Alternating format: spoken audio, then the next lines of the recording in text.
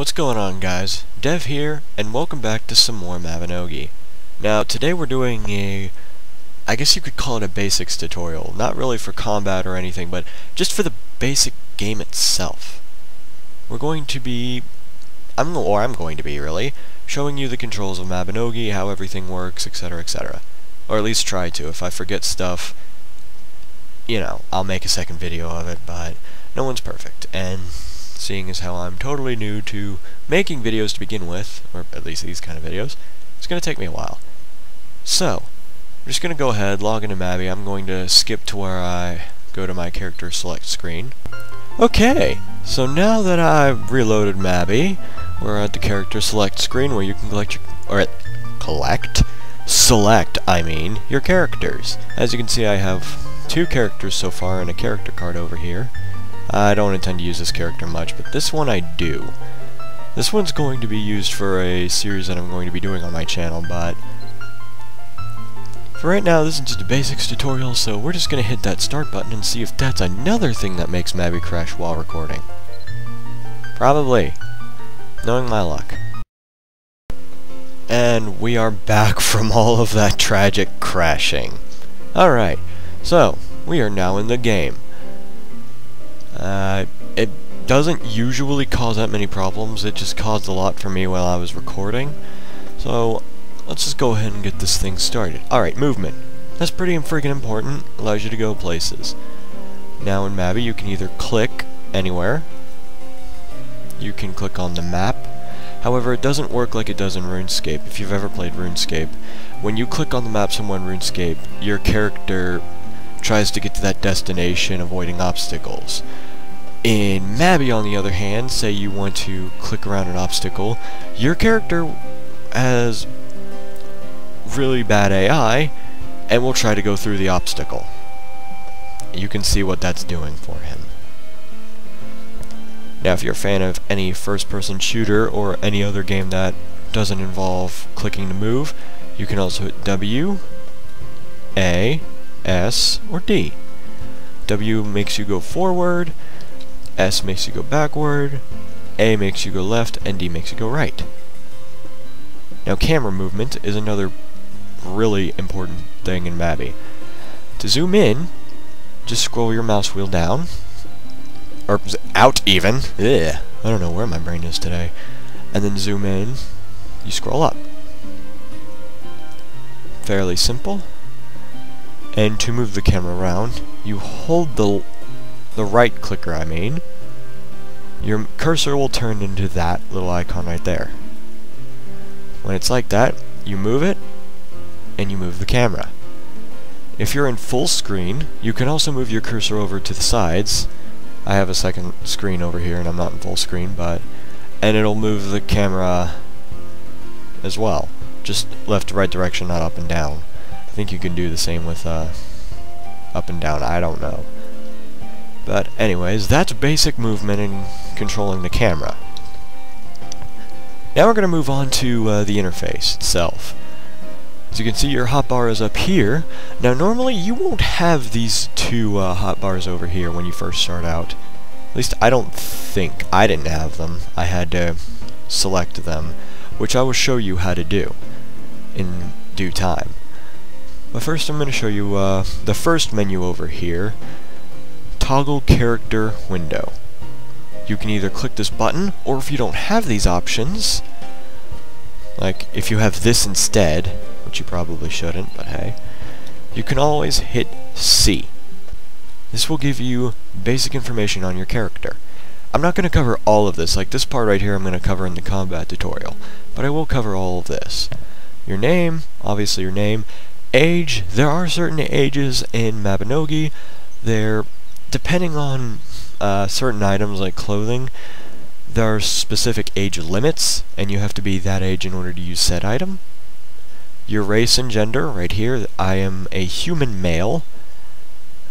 Your title over here, now these are pretty interesting. Titles are basically, I guess you could call them achievements, and with each title comes its own specific buffs and debuffs, as you can see right here.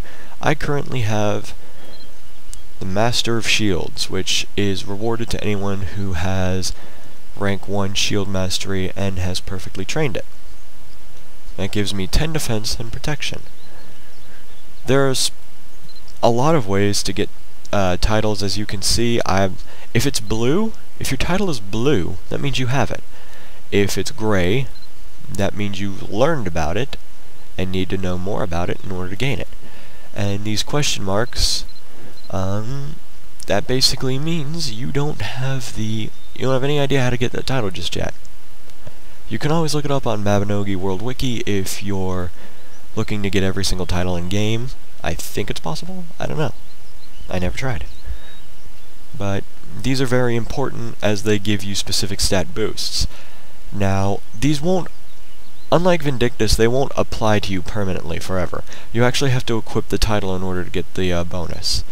Like example, this one gives plus 20 strength, but reduces your dex and intelligence greatly. So we're going to click use this title.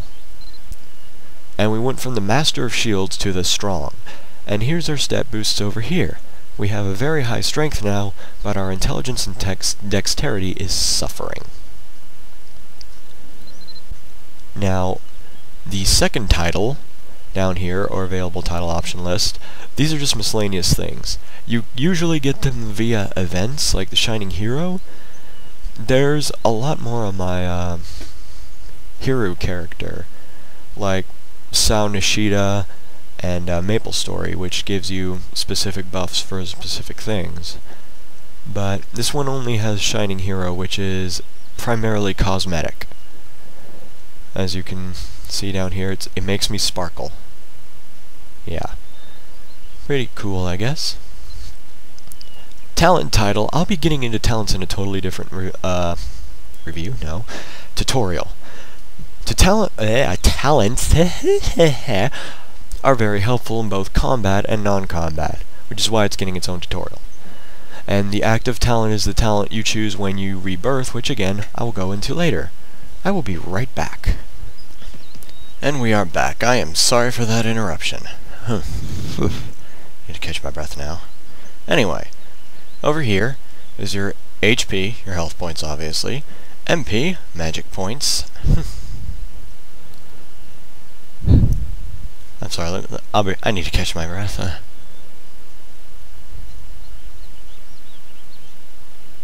huh, I was doing some pretty heavy work earlier. I apologize. And stamina right here, which, okay, let me try to explain stamina. Everything you do in the game, besides magic, requires stamina. Especially if you're a champion warrior, or not even champion warrior, just warrior, or a knight, or a fighter. You're going to use up a lot of stamina, which is highly, which is why it's highly recommended you get a lot of stamina potions. Alright. Now over here, your XP. Obviously that tells you your level, your XP percentage, how much XP you have left to level up. You need XP to level up. The more levels you get, the better off you are. Obviously, that's any MMO ever. Over here we have AP, Ability Points. Ability Points allows you to raise specific skills if you've trained them high enough, which is one of the many things I find interesting about Mabinogi. I'll get into that a little bit later, though. Over here, additional info. This is your rebirth info. This is a really, really big thing in Mabinogi. Every, okay, if you have a character below total level 1000, you can pretty much rebirth every day. This means, let's say you're like level 46 like I am right now. You hit rebirth, you go to rebirth, and you're back to level 1. This does not mean it resets everything. It only resets your level, and some of your stats because you gain stats when you level up. But basically you'll be able to keep your skill ranks the same. So, when you rebirth, go back to level 1, you can raise yourself up to 50 so you can get more AP, max up your skills a little bit more, and you grow stronger as you progress through the game. It's a really awesome concept. I like it. It's one of the many things I like about this game. Just the concept of building up your character. So there's that. Your PvP info if you get into PvP. Marriage info, you can get married in the game, similar to uh, Maple Story if you've ever played that. Jousting tournament records, if you joust, you can do that. Hardpoint info, not that important. Demigod support info. Now, this one's kind of interesting. Later on in one of the storyline quests, you'll get an ability called Demigod, which I'll go into once I do all of the generation quests and record them. Exploration info. This basically shows you your exploration level, what all you've done to get your level, and yeah, just all that. Journal. Oh, okay, this is like all of your achievement. I never really looked into this. But this is uh, all of the little achievements you got. Like, example, I reached cumulative level 100, 300, 500, soon to reach 1000 on this character. I've got up to level 60 on this character. Pioneers area, uh, exploration 25. You visited every town in Erinn. We are family. I've joined a guild. Yeah. I think all of these add up with the characters and not just did they? Let's find out. No, apparently they didn't. Okay. So these are individual for each character. It's cute little stuff like that. Family tree, if you're in a family, which I'm not. You can have families in the game. There are several buffs to this. I don't know what they are, though. But there's special things about them. And PvP rank. Again, it's totally if you're into PvP which PvP can be a lot of fun in this game, and other times it can be a pain in the butt.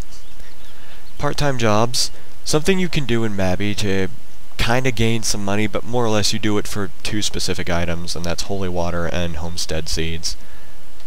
I'll get into holy water once I get into combat, I guess. But this tells you your success rate with the jobs, what all you did, etc. And your current part-time job in progress.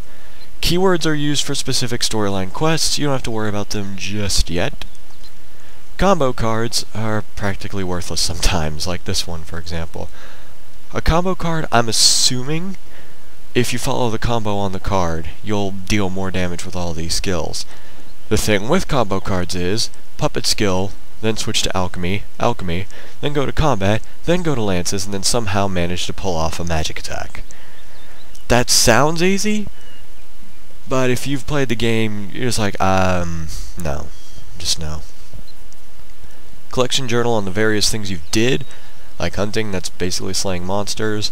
Transformation, a skill I'll get into a bit later once I get into adventurer talent. Fishing, cooking, taming, that's pretty obvious. You can tame monsters, and I'll show you how to do that probably with adventurer uh, talent because the adventure talent's very interesting. And commerce. Commerce is also a specific skill set in the game, which I may or may not go into. I don't really do it that much, but there are people out there who do it a lot. So that pretty much covers character info. There's a lot to cover, but I'll try to cover it in as little time as possible. Like this one, talents, I'll go into this a little, or in a uh, separate tutorial, I mean. Skills I'm going to go into right now. I'm not going to go over every skill and what they do, but basically, there are specific kinds of skills like life skills, you know, um, non-combat related skills. Combat, melee combat related skills, which I'll be going into in the next tutorial. Magic skills, be it combat or non-combat. Uh, technically all of them are combat, but I don't really consider healing combat. Alchemy, combat, non-combat. Fighter, that's obviously full-on combat. Music, for buffs, mainly for buffs, or in case you want to play a song you really enjoy, which you can do in this game. You can actually make it so that you can play a song you really like in this game. It just takes a lot of work, I heard. Puppetry, I don't have anything for that. Dual guns, you know, in case you like to shoot things. Ninja, Hidden skills are a bit interesting. They kind of go in with talents. And Paladin, or Dark Knight, if you so choose. Oh, I can... And Unlearned skills. This is a really interesting tab. I kind of like that they added this. It shows you all the skills you don't know, there's like a lot of skills in the game. So, the options are limitless. Now, Demigod I don't have on this character, so I can't show that off. But I think I'll show it off when I reach that point in the game. On this character anyways. Anyways, quests. There are several different kinds of quests in Mabinogi. I'm gonna go ahead and give up on this. Oh, yeah. I'll give up on that one. I'm not really gonna do it.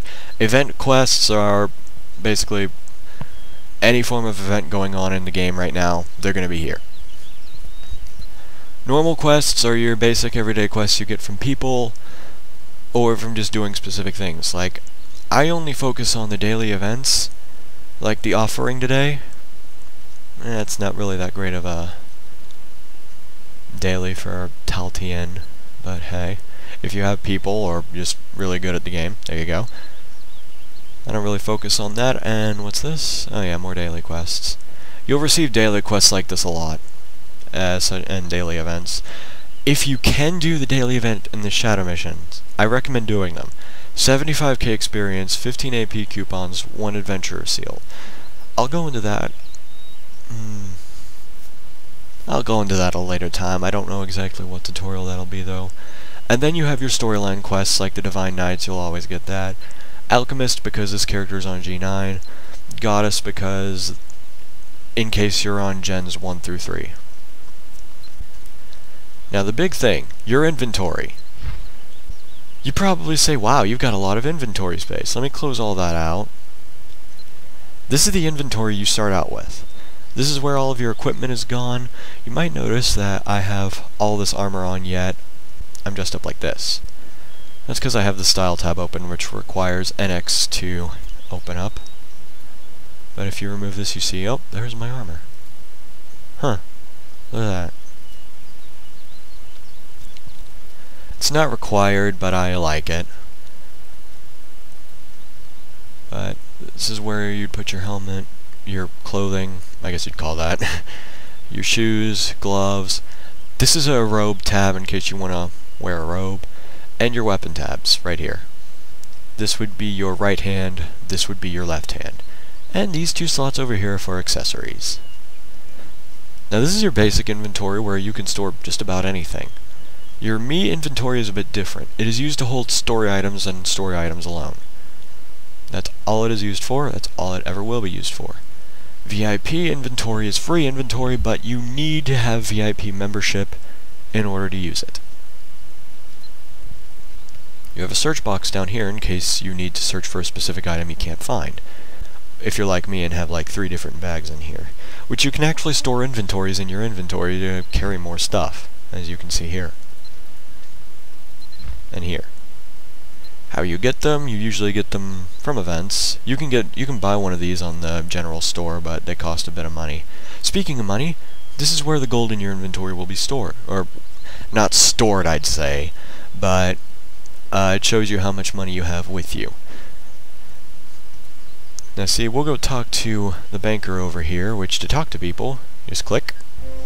They give you a description for whatever reason, even though you could just look right here open my bank account, and we'll just withdraw 100k. Now, because I have... I need to find them again. I think they're in here. No, they're not. I get lost in my inventories as well. Because they're in here, you don't see it, but when I divide it, I can only go up to a thousand. If you don't have any of these big gold pouch bags, your money will be divided up like this. Meaning, each and every slot will be filled up with a thousand gold. So it's highly recommended you get gold pouches or big gold pouches. We'll put that back for now. Oh, and you can also use this item bag for a personal shop, this one in particular. The ones you buy from uh, general stores, I mean. This, these two I got from specific events. I don't think you'd get any one of them now. I'm not entirely sure. But anyways, this is your pet slot. As you can see, I've got tons of pets. This is in case you have a mount or any other form of combat pet, or a partner such as a maid or a butler. Your actions. This is a pretty interesting one. It's like skills, but at the same time it's not. You can do several different things. Normal attack, don't worry about. You just, I'll teach, don't even worry about that. Umbrella you get from wielding an umbrella.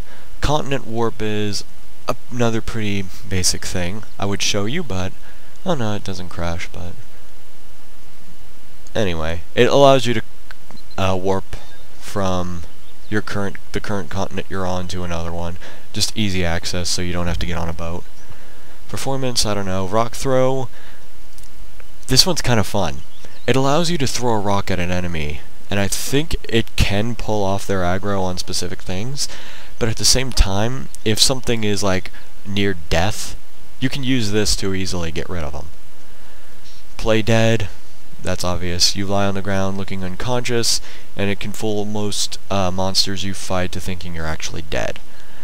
Elrod exploration and sketch are just part of exploration, which I'll get into in another tutorial. I've got a lot to cover in this game, and gestures. These aren't too big of a deal. They're just gestures. You can unlock a few, and VIP access gives you like several more. Your homestead, I'll get into in another video, but this is basically where you'd go to your homestead or go to review homestead map, visit visitor list, etc. Messenger. This is your friends list, your ignore list, your guild list. This is where you'd send a message or send notes to people, which, with a note, um, say someone's holding up a personal shop, you want to send them a note saying, I'll give you this for that you know, something like that, or just sending a note to people if they're offline, kinda. Now, option up here allows you to change certain things, like I've been meaning to change this, uh, let's see. I don't know what to change it to just yet. But if you change that, you change that up here, which people can see when you're logged in. And of course your status. You're either online or offline. Uh, online, away, doing business, you know, stuff like that, in case you want to be seen or not and the option that that notifies you when a friend logs in. You won't know when they log out, though. Never. Of course, this is your guild list if you're in a guild. Dressing room. This allows you to store specific clothing easier, so you don't have to rely on pets all the time. Saw something. Oh, yeah, I don't want to put that in there. But yeah, as you can see, I've got several different outfits from Dragon Raids, or just picking them up, or buying them.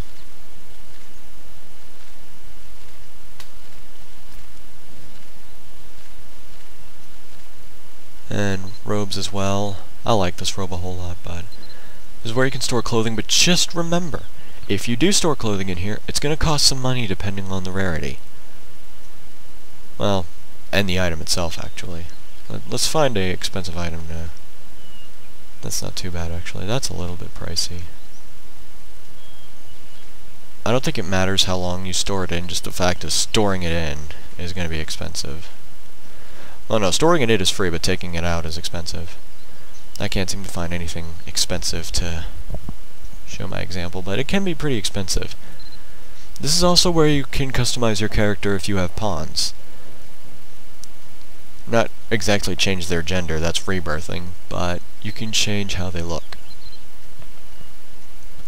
But of course, again, that requires pawns, which you can get here. This is not really important just yet. This is the Saga series. If you're doing the Saga, then I recommend doing this. If you're not doing the Saga, don't even bother with it. But I can tell you right now, the Saga is a major pain in the ass from what I've heard. I've never actually done it because I want to get a little bit stronger on this character, get some more stuff on him. This is the NX shop. I'm not going to open it because it might crash Mabby. but you would just click go to shop and browse the various items you can get like dye ampoules, gachapon, uh, fine reforges, which I'll get into in another bit, and so forth. Now that I've covered most of all this, well, I didn't cover this part, I'll ignore that. This activates your clock, your party menu, your auto view, which I don't know, what does that do? Ah, okay. That's interesting. And record video. I would use this, but screw that. How about that? Alrighty. Speaking of all that, your clock is up here, by the way. Well, it could be anywhere, honestly. You can move it wherever. but I keep it up here. It tells you the time in Erinn, the world you're in, in game time, I guess you'd call it, and not in the real world. So don't freak out if you see 6, 10 a.m. You're like, oh my god, because that's in game time. And that looks to be about it, besides the menu button down here. This gives you various options. It tells you what server you're on. I'm on Mari. I don't think I've mentioned that before. And I am currently in channel 7. The change channel feature allows you to change specific channels. Huh, even channel 1's normal right now. That's unusual for uh, channel 1. I'm not going to do that though. Full screen, put you in full screen. Screenshot takes a screenshot of your game and a fixed camera angle. However, if you move off the screen... Oh. Cool. I was wrong. Usually it's if you move off the screen, it'll cancel automatically. But that doesn't seem to be the case. Let's go a little bit farther. Huh. There he goes. And I'm come back. And here. The home page takes you to the Mabinogi website. Options. This is where you can change specific things in the game. I would show you, but first I'm going to stop recording, because every time you click on options while recording, it crashes Mabby. So, just gonna be right back. Alright, these are the forbidden options you're not allowed to touch while recording, but screw it. System settings, of course your video card. Huh. Okay.